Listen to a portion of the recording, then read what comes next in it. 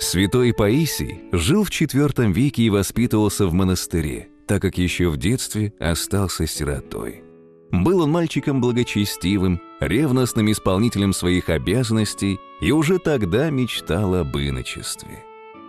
Принял постриг преподобный в одном египетском скиту и долгое время жил там под руководством святого Памвы. Памва преподал святому суровую школу подвижничества.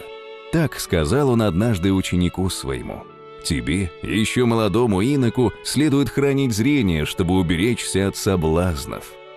И Паисий три года ходил, не поднимая глаз от земли. Так же усердно он изучал священное писание, постился, молился и преуспевал во всякой добродетели. По смерти учителя своего, Паисий, уже духовно зрелый инок, удалился глубоко в пустыню и поселился там в пещере в полном уединении.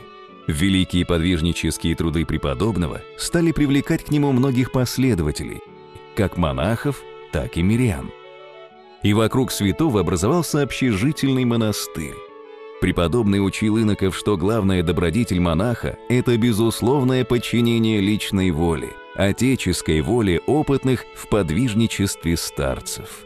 А когда спрашивали Аву, какая же добродетель выше всех прочих, святой говорил им – та, которая совершается в тайне и о которой никто не знает.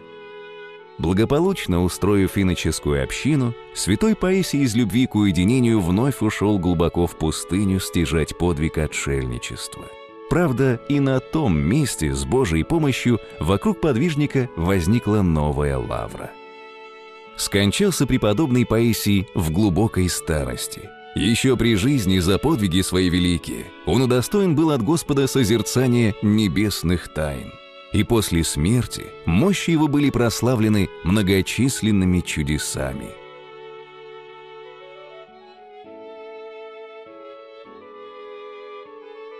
Второе июля. День памяти преподобного Паисия Великого –